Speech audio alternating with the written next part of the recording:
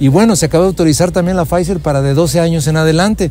Solo estamos esperando que nos den la línea y que nos digan aquí está la vacuna y empezarla a aplicar. Todavía no hay fecha para que... No, yo creo que esa vacuna de 12 años en adelante debe ser antes de que regresen a clase los niños, el- antes de agosto ya deben de estar vacunados. Si tuviéramos las vacunas suficientes, creo que para mí, yo como secretario era de la idea de que hubieran dejado la vacuna abierta, el que se quisiera arrimar a vacunar se arrimara y listo, ¿no? Pero ha habido pautas, ha habido, acuérdense que la vacuna no está totalmente ya aprobada, es una vacuna de emergencia y por lo tanto tiene sus limitantes y lo estamos viendo. Hay personas que han reaccionado de manera severa en el mundo y han fallecido. Hay personas que han hecho nada más reacciones leves. Entonces, no podíamos abrir una vacunación tampoco así. En este momento, afortunadamente, ya tenemos para el, eh, grupo etario de 40 a 49, ya va a empezar de 30 a 39, ya abrieron la plataforma para 18 en adelante. A lo mejor no se ha detectado y yo no dudo que ya la tengamos.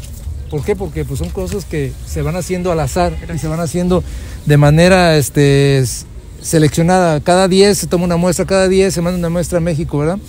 Pero eso no quiere decir que no, lo que pasa es que no le hemos atinado a la donde está. Pero si hubiera ya una variante delta grave, ya lo hubiéramos visto en hospitalización.